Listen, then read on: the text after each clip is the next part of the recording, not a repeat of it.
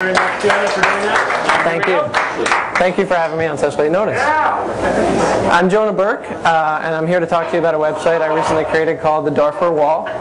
And I want you guys to take two things away from this presentation. Uh, the first one um, is just that you can use the internet for philanthropy in interesting ways. The second one is that I hope you'll get involved with this project. So, who's heard of Darfur? Okay, a lot of people, that's great.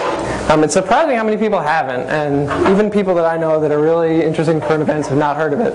This is the way that I like to explain it. It's currently the world's most dire crisis. Uh, in the last three years, 400,000 people have been killed. Uh, two and a half million people have been displaced from their homes.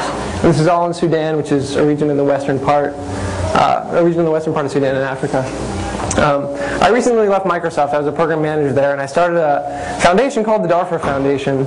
And I started it with my father Dan, my brother Matt, uh, and our main project is called the Darfur Wall. So today I'm gonna, I'm just gonna walk you through uh, the site.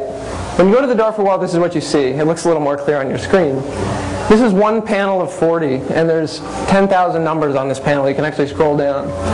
That top thing at the top right is a map. So if you click on one of those squares, you'll see another panel. When you click on a number, you see this screen, which is a dark number. And it says donate $1 uh, to light this number. Um, when you click on that link, donate $1, it takes you to a checkout process. You can pay a dollar, you can pay more to light more numbers. Uh, and then finally, you come back here and your number is lit.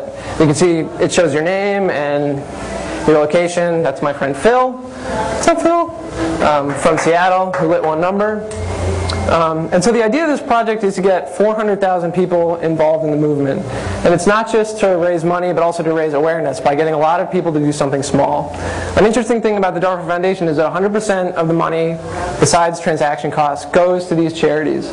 I pay all the costs, and my father pays all the costs out of pocket so we can donate everything. So I'm going to take you through a tour of some other cool features of the website. If you click zoom out, you see this picture. And this is the overall picture of the wall. And each pixel represents, thank you. That's awesome. Uh, each pixel represents a number. So this shows us on a large scale the progress.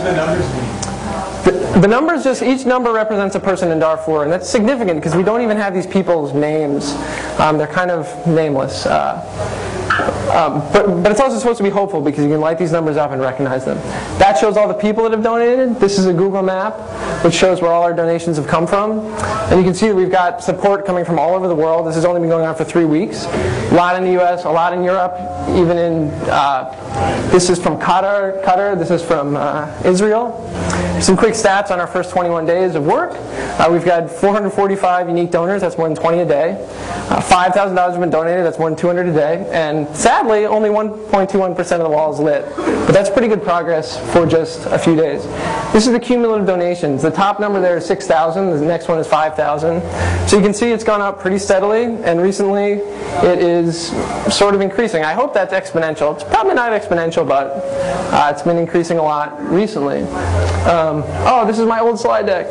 That's okay. Uh, buy them out. Let me just, there's supposed to be a great pie chart on here. Um, most of them are small donations, some of them are large. Why that's significant to me is it shows that a lot of people are getting involved in a small way. So we're not just raising money, we're also raising awareness. By location, I kind of just showed you the map. This is just a pie chart which shows that the sort of uh, majority of the donations are coming from the US, but we also have a lot of donors from Canada and a lot of donors from Europe. So I run this kind of on a shoestring, so how do we promote it? We promote it mainly through the internet. MySpace, bloggers, and emails. And what I want you to take away from that is that the people in this room are extremely powerful, and you guys can really help.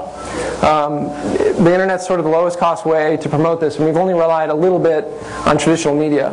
A little bit about the technology. I'm using you know, all open source stuff, Ruby on Rails, Apache, MySQL, Debian. It's my first Rails project. I don't know how many of you guys use Rails, but I've been really impressed with sort of the speed of development, how easy it is to to learn.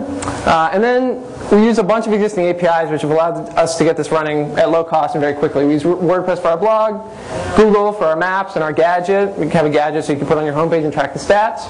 And then PayPal for our payment processing. Um, Phil, again, asked me to give a few lessons. It's pretty early in the, uh, in the project to have garnered any lessons, but I found that um, just by starting with my own personal network was a great way to grow the project. I'm running out of time, so let me skip to this slide. I want you to consider doing three things. Visit the site, darfurwall.org, tell some friends about it, and blog about the site and link. We have some cool images and gadgets you can put on your site.